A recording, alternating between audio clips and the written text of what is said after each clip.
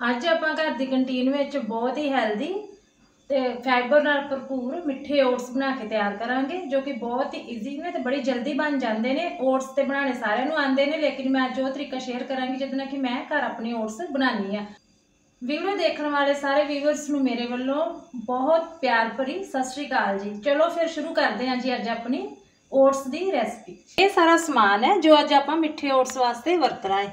ਮੈਂ ਦੋ ਵੱਡੇ ਚਮਚੇ ਓਟਸ ਲਏ ਨੇ ਤੇ ਇੱਕ ਕੱਪ ਦੁੱਧ ਦਾ, ਇਹ ਦੁੱਧ ਕੱਚਾ ਹੈ, ਉਬਲਿਆ ਹੋਇਆ ਦੁੱਧ ਨਹੀਂ ਹੈ। ਤੇ ਥੋੜੀ ਜਿਹੀ ਮੈਂ ਚੀਨੀ ਲਈ ਹੈ, ਮੈਂ ਟੇਸਟ ਦੇ ਅਕੋਰਡਿੰਗ ਇਹਨੂੰ ਪਾਵਾਂਗੀ ਥੋੜੀ ਜਿਹੀ ਸੌਗੀ ਥੋੜੇ ਬਦਾਮ ਤੇ ਥੋੜੇ ਮੈਂ ਕਾਜੂ ਲਏ ਨੇ, ਇਹਨਾਂ ਨੂੰ ਮੈਂ ਇਸ ਤਰ੍ਹਾਂ ਕੱਟ ਲਿਆ। ਤੇ ਸਭ ਤੋਂ ਪਹਿਲਾਂ ਆਪਾਂ ਓਟਸ ਨੂੰ ਹਲਕਾ ਜਿਹਾ ਭੁੰਨ ਲਵਾਂਗੇ। ਓਟਸ ਕਾਫੀ ਹੈਲਦੀ ਹੁੰਦੇ ਨੇ, ਕਿਉਂਕਿ weight lose ਕਰਨ 'ਚ ਵੀ ਆਪਣੀ ਮਦਦ ਕਰਦੇ ਨੇ, ਸਾਡਾ ਕੋਲੇਸਟ੍ਰੋਲ ਨੂੰ ਵੀ ਕੰਟਰੋਲ ਕਰਦੇ ਨੇ, ਇਹਦੇ 'ਚ ਪ੍ਰੋਟੀਨ ਫਾਈਬਰ ਕਾਫੀ ਮਾਤਰਾ 'ਚ ਹੁੰਦਾ ਹੈ। ਸਵੇਰ ਟਾਈਮ ਬ੍ਰੇਕਫਾਸਟ ਵਿੱਚ ਤੁਸੀਂ ਇਹਨੂੰ ਖਾ ਲਓ ਤੇ ਪੂਰਾ ਦਿਨ ਤੁਹਾਡਾ ਬਹੁਤ ਵਧੀਆ ਜਾਂਦਾ ਹੈ। ਤੇ ਸਭ ਤੋਂ ਪਹਿਲਾਂ ਆਪਾਂ ਇਹ ਓਟਸ ਭੁੰਨਦੇ ਆ ਇਹ ਮੈਂ ਬਿਨਾਂ ਹੀ ਘਿਓ ਤੋਂ ਭੁੰਨ ਰਹੀ ਹਾਂ। ਤੁਸੀਂ ਚਾਹੋ ਤੇ ਬਿਲਕੁਲ ਥੋੜਾ ਜਿਹਾ ਇਹਦੇ 'ਚ ਘਿਓ ਪਾ ਸਕਦੇ ਹੋ।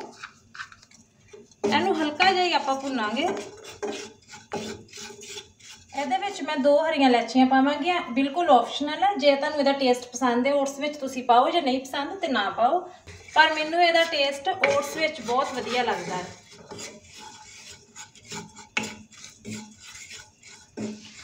ਜਿਵੇਂ ਆਪਣੇ ਬੱਚੇ ਸਵੇਰੇ ਸਵੇਰ ਐਗਜ਼ਾਮ ਟਾਈਮ ਜਲਦੀ ਘਰੋਂ ਨਿਕਲ ਜਾਂਦੇ ਨੇ, ਤੇ ਸਾਡੇ ਮਨ 'ਚ ਇਹੀ ਰਹਿੰਦਾ ਕਿ ਬੱਚੇ ਖਾਲੀ ਪੇਟ ਗਏ ਨੇ।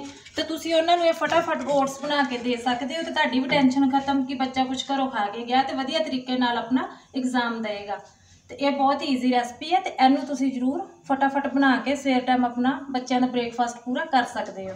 ਹਾਂਜੀ ਓਟਸ ਆਪਣੇ ਰੋਸਟ ਹੋ ਗਏ ਨੇ, ਸਿਰਫ ਇਹਨੂੰ ਆਪਾਂ 1-2 ਮਿੰਟ ਹਲਕਾ ਜਿਹਾ ਸੇਕ ਹੀ ਲਵਾਇਆ ਤੇ ਹੁਣ ਆਪਾਂ ਇਹਦੇ ਵਿੱਚ ਇਹ ਇੱਕ ਕੱਪ ਦੁੱਧ ਐਡ ਕਰਦੇ ਹਾਂ। ਦੋ ਵੱਡੇ ਚਮਚ ਮੈਂ ਓਟਸ ਲਿਆ ਸੀ ਤੇ ਇੱਕ ਕੱਪ ਮੈਂ ਦੁੱਧ ਐਡ ਕੀਤਾ ਹੈ। ਫਲੇਮ ਆਪਾਂ ਮੀਡੀਅਮ ਕਰ ਦੇਣੀ ਇਹਨੂੰ ਮੀਡੀਅਮ ਫਲੇਮ ਤੇ ਆਪਾਂ ਪਕਾਉਣਾ ਹੈ। ਇਸ ਤਰ੍ਹਾਂ ਇਹਨੂੰ ਹਿਲਾਉਂਦੇ ਰਹਿਣਾ ਹੈ। ਤੇ ਜੇ ਸਾਨੂੰ ਜ਼ਰੂਰਤ ਲੱਗੇ ਕਿ ਦੁੱਧ ਘੱਟ ਹੈ ਤੇ ਆਪਾਂ ਇਹਦੇ ਵਿੱਚ ਦੁਬਾਰਾ ਦੁੱਧ ਐਡ ਕਰ ਸਕਦੇ ਹਾਂ। ਦੁੱਧ ਵਿੱਚ ਇੱਕ ਉਬਾਲ ਆ ਗਿਆ ਤੇ ਓਟਸ ਆਪਣੇ ਗਾੜੇ ਹੋਣੇ ਸ਼ੁਰੂ ਹੋ ਗਏ ਨੇ। ਫਲੇਮ ਆਪਾਂ ਮੀਡੀਅਮ ਰੱਖੀਏ ਇਹ 3-4 ਮਿੰਟਾਂ ਵਿੱਚ ਬੜੇ ਆਰਾਮ ਨਾਲ ਬਣ ਜਾਂਦੇ ਨੇ।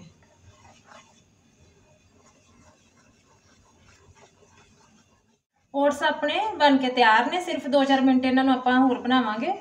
ਹੁਣ ਇਹਦੇ ਵਿੱਚ ਆਪਾਂ ਇਹ ਸੌਗੀ, ਇਹ ਪਾ ਦਾਂਗੇ। ਇਹਦੇ ਨਾਲ ਹੀ ਇਹ ਕਾਜੂ ਤੇ ਬਦਾਮ। ਡਰਾਈ ਫਰੂਟ ਤੁਸੀਂ ਕੋਈ ਵੀ ਆਪਣੇ ਟੇਸਟ ਅਕੋਰਡਿੰਗ ਪਾ ਸਕਦੇ ਹੋ ਤੇ ਇਹਦੇ ਨਾਲ ਹੀ ਇਹ ਥੋੜੀ ਚੀਨੀ। ਚੀਨੀ ਦੀ ਜਗ੍ਹਾ ਤੁਸੀਂ ਇਹਦੇ ਵਿੱਚ ਸ਼ਹਿਦ ਵੀ ਪਾ ਸਕਦੇ ਹੋ ਤੇ ਗੁੜ ਵੀ ਪਾ ਸਕਦੇ ਹੋ। ਜਾਂ ਮਿਸ਼ਰੀ, ਉਹਨੂੰ ਵੀ ਪਾ ਸਕਦੇ ਹੋ। ਇਹਨੂੰ ਮਿਕਸ ਕਰਕੇ 1-2 ਮਿੰਟ ਵਾਸਤੇ ਆਪਾਂ ਪਕਾ ਲਾਂਗੇ। ਲਓ ਜੀ, ਆਪਣੇ ਗਰਮਾ ਗਰਮ ਬਹੁਤ ਹੀ ਹੈਲਦੀ ਤੇ ਟੇਸਟੀ ਓਟਸ ਬਣ ਕੇ ਰੈਡੀ ਨੇ। ਤੇ ਹੁਣ ਇਹਨੂੰ ਆਪਾਂ ਕਰਦੇ ਆਂ ਸਰਵ ਲਓ ਜੀ, ਆਪਣੇ ਬਹੁਤ ਹੀ ਟੇਸਟੀ ਮਿੱਠੇ ਓਟਸ ਬਣ ਕੇ ਰੈਡੀ ਨੇ। ਇਹਨੂੰ ਮੈਂ ਥੋੜਾ ਜਿਹਾ ਡਰਾਈ ਫਰੂਟ ਨਾਲ ਸਜਾਤਾ ਹੈ। ਤੁਸੀਂ ਚਾਹੋ ਤੇ ਇਹਦੇ ਵਿੱਚ ਕੋਈ ਫਰੂਟ ਜਿਵੇਂ ਕੇਲਾ ਜਾਂ ਐਪਲ ਵਗੈਰਾ ਐਡ ਕਰ ਸਕਦੇ ਹੋ ਤੇ ਥੋੜੇ ਜਿਹੇ ਮੈਂ ਇਹਦੇ ਵਿੱਚ ਸੋਕਸ ਸੀਆ ਸੀਡਸ ਪਾਵਾਂਗੀ। ਇਹ ਮੈਂ ਭਿਓਏ ਆ ਸੀਆ ਸੀਡਸ ਇਹਦੇ ਨਾਲ ਇਹਦਾ ਟੇਸਟ ਬਹੁਤ ਵਧੀਆ ਹੁੰਦਾ ਹੈ। ਇਹ ਖਾਣ ਵਿੱਚ ਵੀ ਬਹੁਤ ਟੇਸਟੀ ਹੁੰਦੇ ਨੇ ਬਸ। ਕਿੰਨੇ ਸੋਹਣੇ ਲੱਗ ਰਹੇ ਨੇ ਓਟਸ ਸੀਆ ਸੀਡਸ ਦੇ ਨਾਲੇ ਹੋਰ ਵੀ ਸੋਹਣੇ ਲੱਗ ਰਹੇ ਨੇ। ਇਹ ਬਹੁਤ ਟੇਸਟੀ ਬਣੇ ਨੇ। ਤੁਸੀਂ ਵੀ ਇਹਨੂੰ ਆਪਣੇ ਘਰ ਟਰਾਈ ਕਰਿਓ, ਬਣਾ ਕੇ। ਇਹ ਸੀ ਮੇਰੀ ਅੱਜ ਦੀ ਰੈਸਪੀ ਹੁਣ ਮੈਂ ਤੁਹਾਨੂੰ ਦੱਸਦੀ ਹਾਂ ਟੇਸਟ ਆਪਣੇ ਇਹਨਾਂ ਪਿਆਰੇ ਜਿਹੇ ਓਟਸ ਦਾ, ਜਿਹੜੇ ਆਪਾਂ ਹੁਣੇ ਬਣਾ ਕੇ ਰੈਡੀ ਕੀਤੇ ਨੇ, ਕਿ ਕਿਵੇਂ ਦੇ ਬਣੇ ਨੇ।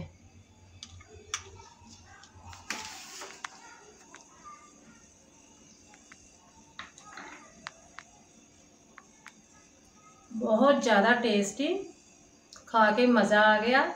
ਤੇ ਤੁਸੀਂ ਵੀ ਇਹਨੂੰ ਆਪਣੇ ਘਰ ਇਸ ਤਰੀਕੇ ਨਾਲ ਬਣਾ ਕੇ ਟਰਾਈ ਕਰਿਓ। ਬੜੀ ਈਜ਼ੀ ਰੈਸਪੀ ਆ, ਬੜੀ ਜਲਦੀ ਬਣ ਜਾਂਦੀ ਹੈ ਮਿਲਦੇ ਹਾਂ ਕਿਸੇ ਨਵੀਂ ਵੀਡੀਓ ਵਿੱਚ ਕਿਸੇ ਨਵੀਂ ਰੈਸਪੀ ਨਾਲ। ਤਦ ਤੱਕ ਲਈ ਸਤਿ ਸ਼੍ਰੀ ਅਕਾਲ ਜੀ। ਵੀਡੀਓ ਦੇਖਣ ਵਾਸਤੇ ਤੁਹਾਡਾ ਬਹੁਤ ਬਹੁਤ ਧੰਨਵਾਦ।